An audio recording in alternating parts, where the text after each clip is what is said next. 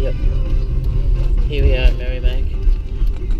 Uh, black coloured snake swimming in a pool. Lady said I'd been here before and caught a red belly. And um, this particular area where, we are is red belly black central to the Gold Coast. We're in small pockets, little populations. And now that I'm here, at first I was thinking it'd be a tree snake. But I bet that it, is a red belly. Then we've got to go to Reedy Creek and grab a carpet that's having a little nana.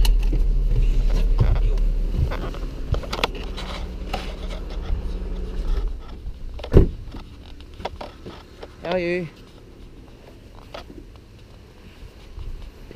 Come on, Mum. Takes you forever to get dressed. Can't reach over your belly. Uh, She's thinking ahead and getting to get.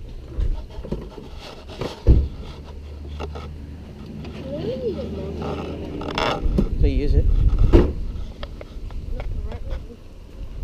I've water all over my head. How are you? Where's this little snake of yours? I- After I, he, he's come in a few times Yep. and swam up, and I don't think he's.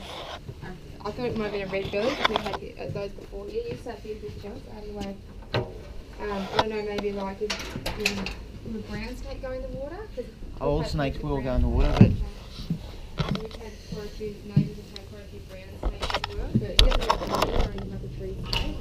But just remember that um, there's 21